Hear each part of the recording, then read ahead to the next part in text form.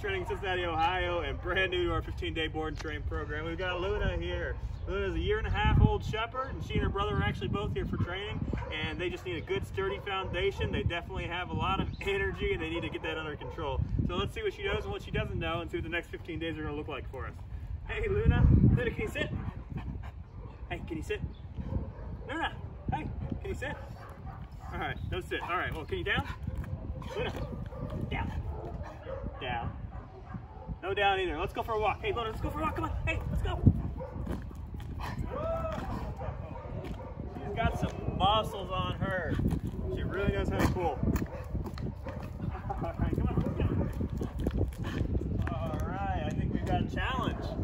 All right, you can check up on her progress on our social media. I think she's going to be a ton of fun. I can't wait to see what she and her brother can do. Hey everybody, this is Riley Blaylock with Bulletproof Dog Training, and today we got a new 15-day board and train. He is a year and a half German Shepherd, and his name is Jagger.